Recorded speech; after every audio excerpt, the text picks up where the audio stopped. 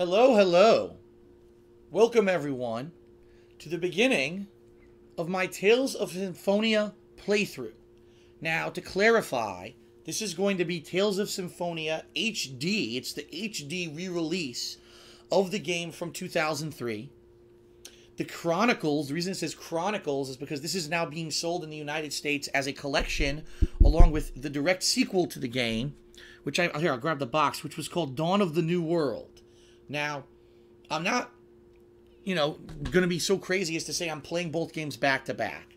And this game, for all intents and purposes, is going to be a game that I'm going to be playing on and off during the course of downtime, meaning between other new releases that are coming out that I want to play. This will be the game that's kind of like the filler content. but by no means am I saying that it's not going to be entertaining or that it's not fun. I'm just saying that it's an older game. The game's 11 years old. It's probably you're going to see the gameplay will be a little bit dated. I'm okay with that. I love JRPGs. I grew up with them. They're some of my favorite games of all time. And I'm actually very much looking forward to playing Tales of Symphonia, especially because in recent years, before I ever started making videos of my gameplay, I actually played Tales of Vesperia and I loved it. And then just last year, I played Tales of Xillia and I loved it. And I actually also played a Tales of game on the 3DS and I loved it. So, in that regard, I have a little bit of background. However, what I've heard is that Tales of Symphonia is actually earlier on in the series, and therefore a lot of the combat and things that became steady conventions of the series in later games are not present in this game. To which I say that's fine. You know, it is what it is. I grew up with the more traditional style games anyway. Before it became, oh, you can run free running around the combat field and doing stuff like that. Let's see what happens. I think I'm really going to enjoy it. Uh, one thing that I actually told the stream, because as you know, at this point I live stream as well as direct capture my playthroughs for YouTube.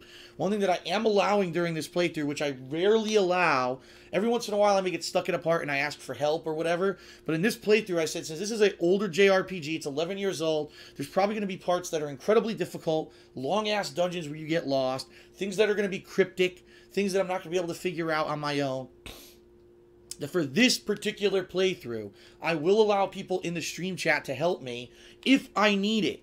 Meaning, I'm going to still play the game the way I always do, which I consider myself kind of the Joe average gamer who's going to play this game from, you know, cold. I didn't research it. I don't have a strategy guide or anything with me. But if I end up getting stuck or I'm having a difficult time, or if, oh my God, the best weapon in the game is two inches from Phil's face, but it's an invisible wall and there's no way he would know that it's there, that's the kind of stuff that I would, you know, look for help for from the stream chat. So in this playthrough in particular, you may hear me or see me asking for help only if I need it. Okay? And if you're not okay with that, well, I'm sure in the past 11 years there were several thousand people who have played this game and made videos of it, and you can go check their stuff out. All right? Without further ado, that's enough of that. Let's go ahead and get started with Tales of Symphonia HD. No, not the Stick of Truth let's go ahead and let's actually use the online storage because the last time that I played a JRPG on the PS3, if you remember correctly, Kingdom Hearts HD, my my uh, entire PlayStation died and I lost all of the data, and I would not like to do that this time.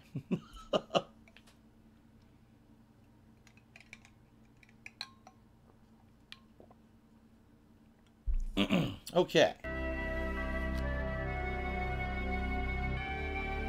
Alright, so as you can see here, we've got the two different games available, the original Tales of Symphonia and the direct sequel, Dawn of the New World. We're going to start with the sequel just so I have no idea what's going on. No, we're not. We're going to start with the original classic Tales of Symphonia. There we go.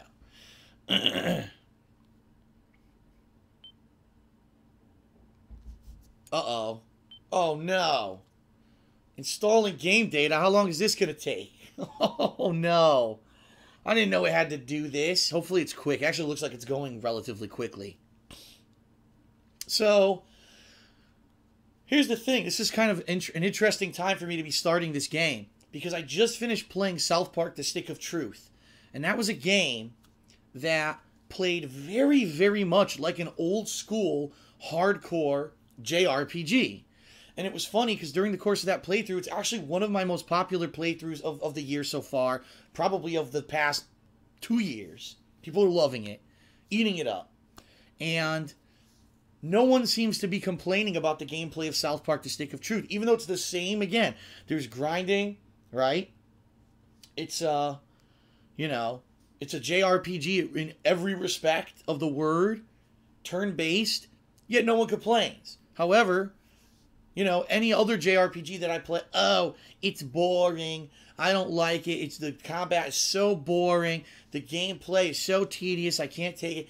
Really, what this shows you is this that JRPG gameplay, even though it has maybe not aged well, is not the problem. It's not the reason that Western audiences are falling out of love with JRPGs. The problem is that every JRPG is basically kind of anime style, right?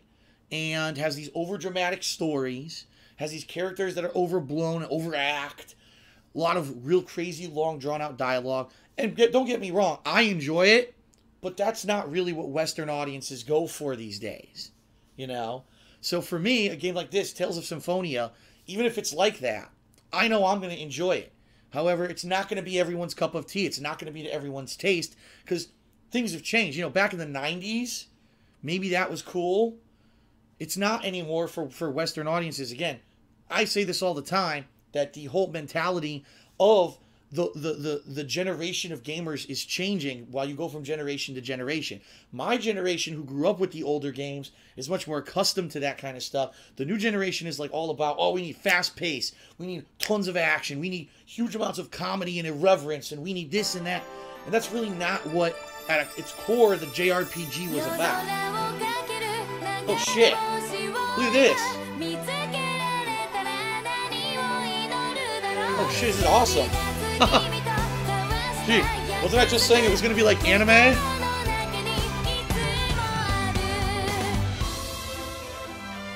A nice full animated intro here. Beautiful. Very nice. Looks very nice in HD. Tales of Symphonia. Ho, ho, ho, ho, ho, ho. Oh my god, skeletons! There's fucking skeletons! No. Those of you know my history with skeletons, you know what's gonna happen. oh shit, we got mages, son. I'm gonna hit you with my yo-yo, bitch. Yo-yo master. Oh my god, look at that hair. Uh-oh. Who's this guy? Uh-oh. It's the classic anti-hero. We got a fairy. Holy shit! The little girl swinging a giant fucking axe. It's awesome and the jailbird. Be your lock style character. Oh shit, we got jet skis over there in the air. Excellent music too. Come on, come on. That's right, dramatic over the shoulder pose. Oh, I can read your palms. Look, here says you have a giant cock. Oh, I smiled because of it. Oh, oh, oh, oh, oh, oh, oh, oh. Now it's snowing. It's Christmas. Hopefully they have Christmas in this game. That'd be sweet. Dramatic. Practice on the edge of a cliff so I accidentally trip and die. You ever notice that? In all these games, they always have like the hero dramatically practices at the edge of a cliff. Like, wouldn't that be the last place you would want to practice? you could fucking fall. Can't you just practice on a fucking level ground? Seriously. wow. Alright, Tales of Symphonia. New game, low login, and custom. What's custom? Oh, here we go. Message speed. We're probably... Change the text display speed. The lower the number, the faster. Alright, we want it on that. Normal difficulty, please. What do we got here? Ooh. Window configuration of colors. So we could either do like this brownish. We could do this green with blue.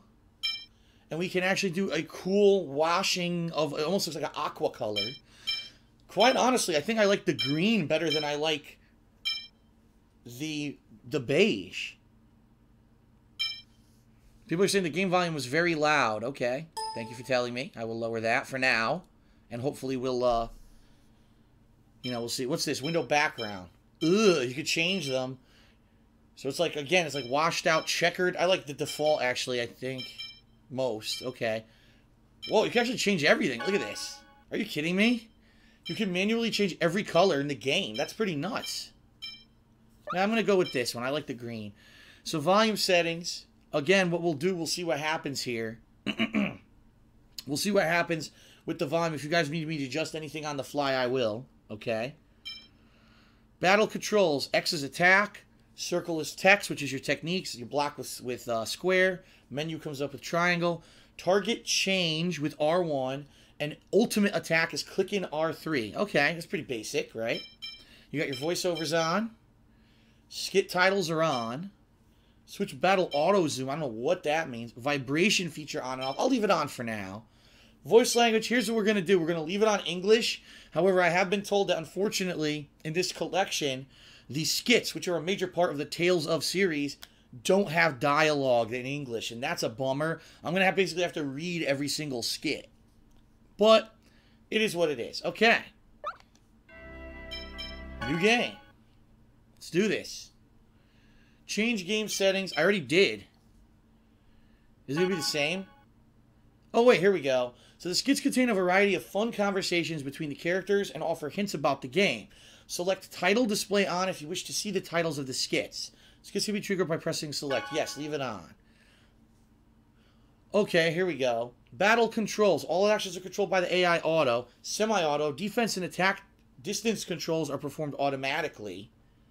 Manual. All actions are controlled by the player. Well, huh. I would think. I mean, wouldn't you want it fully manual? Because if you're doing semi-auto, isn't that kind of like a cop out? You know what I mean? I'm gonna go manual, and I I, oh, I don't know if we could change it later, but you would think manual you would want to do right. Some people on the stream right now are saying you should do semi. Semi. A lot of people are saying do semi, huh? All right. You know what? I'll do semi-auto. Everyone's saying do semi semi now. Okay. Vibration, I'll leave it on. I could turn it off later if I want. Thank you for playing the Tales of series. Here's a gift for you. Obtain the Tales of the Abyss costume set. That's cool. Tales of the Abyss was the one for 3DS that I played. Once upon a time, there existed a giant tree that was the source of mana. Aha, the mana tree. A of war, course. however, caused this tree to wither away. I recognize this voice and actor. hero's life was sacrificed in order to take its place. This guy does a lot of anime. Grieving over the loss, the goddess disappeared unto the heavens. Oh no. The goddess left the angels with this edict. You must wake me, for if I should sleep, the world shall be destroyed. But the angels overslept and the world exploded. The end. The angels bore the chosen one, who headed towards the tower that reached up unto the heavens. And that marked the beginning of the regeneration of the world. Graphics looks pretty sweet. I have to say, pretty nice, colorful, colorful palette selections. Lloyd Irving, wake up. Uh oh. No, I'm oversleeping. Shut up. What the hell? He's asleep standing up, holding two buckets. what? How do you fall asleep standing up, holding two buckets? Oh! What the hell? Ah, She hit it with an eraser. Oh god, I skipped it by oh, accident. Professor Raine, i- is class over? I recognize his voice too. He's another uh, famous voice actor. Never mind. Let's have someone else answer the question. Genis, how about you? Genis, huh? Nice yes, hair. Raine. Mithos, the hero, brought about the end of the ancient war in the holy ground of Kharlan. Mithos, the hero. Correct. Afterwards, Mithos the hero formed a pact with the goddess Martel to seal away the Desians whom caused the war. Hmm. But the Desians came back and are now causing everyone to suffer. What a bunch of dicks. We covered that in class last time, remember? When the seal weakens, the Desians reappear, just like they have now. I, uh, yeah, I knew that. I, I just forgot. Hmm. Today is the day of prophecy. You know who he is? He's Robin from Teen Titans. The voice of Robin from Teen Titans is the voice of Lloyd. Haha. I knew I heard the voice somewhere. It is a very important day, which the Chosen of Mana will receive an oracle from the goddess Martel. Now, Chosen One, Colette, Colette, Yes, she's, ma'am. she's the chosen one? tell us about the journey of world regeneration. It is a journey to seal the Desians. Is that the one about the vampires who fight the werewolves? Upon passing And everyone's the trials sparkly? of the goddess Martel, the summoned spirits that protect the world awaken, and mana is restored. Is that the one about the girl from American Hustle with the big titties shooting arrows? That's a good one. Correct. I suppose we should expect the Chosen herself to know the answer to that one. Mana depletion is the cause of the current food shortages and droughts. It is said that this occurs because the Desians consume vast amounts of mana in their human ranches.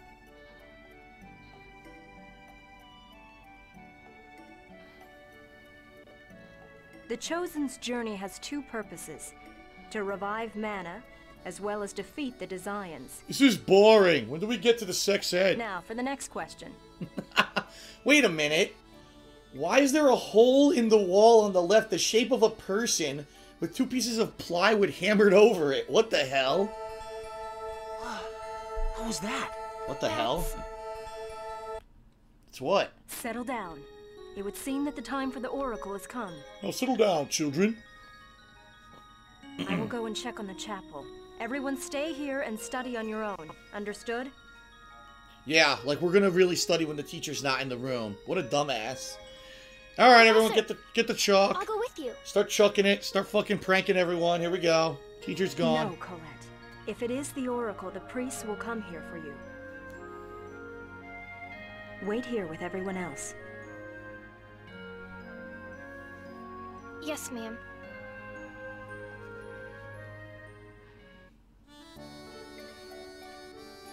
All right, so we got control for the first time. Wow, he actually moves damn fast. Holy shit! Look at this dude. He runs like full speed. Here we go. What is this? Question mark. When did this hole get here? Exactly. Talk to some people. Let's leave everything to the professor and wait here. Yeah, enough. I don't think so. Our menu is a triangle. Here we go. Cooking. You can actually cook in this game. Hmm. I wonder if that light has something to do with the Oracle. Where's Colette? Let's talk to her. That light was so pretty. During class, Raine said that when the Oracle comes, the Cruxis crystal and enshrined in the altar shines. So that light must have been emitted by the Cruxis crystal at the temple. What the fuck? Cruxis. There's a temple that building north of the village. The professor seemed kind of nervous. Boy, but didn't I tell you as soon as the professor left that no one was going to study? No one's studying. What the hell with that stuff. We'll do whatever we want, man. I'm leaving. I'm fucking leaving the room. Uh-oh. Lloyd, where are you going? Don't tell me you're sneaking out. Raine will get mad. I'm really curious to find out what really happens to Colette when she receives the Oracle. They always talk about the Chosen of Regeneration in the Day of Prophecy, but no one tells us what really happens. but my sister said to stay and study by ourselves. Oh, the teacher's his sister. Huh. It's research. That's just an excuse. So, an excuse is an excuse, right? Don't be so stuffy.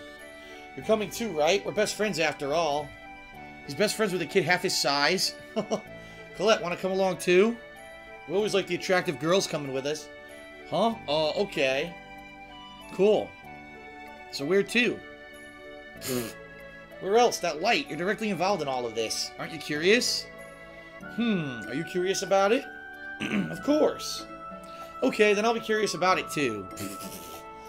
See, Dwarven vow number four. Don't depend on others. Walk on your own two legs. Okay then, let's go to the temple. He's peeved. Not the Dwarven vows again. You always use those when you need an excuse. Alright, we've got our very first party. Colette and Genis join the party. When select appears, at the left edge of the screen, press select to trigger a skit. Skits contain hints about where to go next, as well as offer a variety of fun chats between the characters. Alright.